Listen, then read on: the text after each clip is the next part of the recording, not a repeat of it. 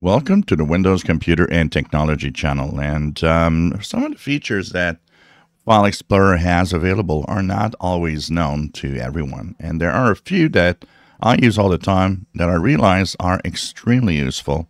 And you probably would find them useful also.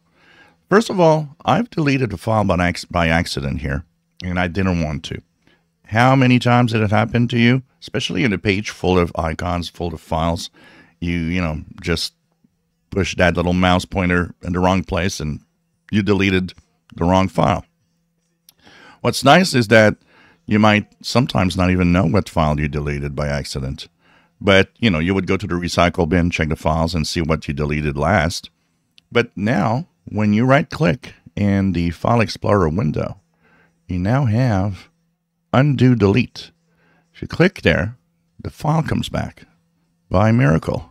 So this is one of the easy ways to get your files back. Don't have to go to your recycle bin to do it. It's there and it's available right in the File Explorer. Another little trick. Say that you've renamed a file. Now I'm going to give it a weird name. And you say, well, you know, that's not the file I wanted to rename. Or maybe, you know, you want it back to what was the name before.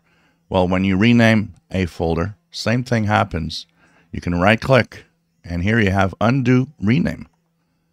And so these are very useful features that if you, of course, record and play around with a lot of files in the File Explorer, how many times did you rename either maybe the wrong file or deleted the wrong file? Well, now, easy peasy. You just have to right click on the uh, File Explorer and you have the undo, redo, rename like you will have the undo, redo, delete if you want, and so on. This is very easy access, just a right click, and you have it there. No need to, you know, go into the, the recycle bin, anything. If you enjoy my videos, please subscribe, give us thumbs up. Thank you for watching.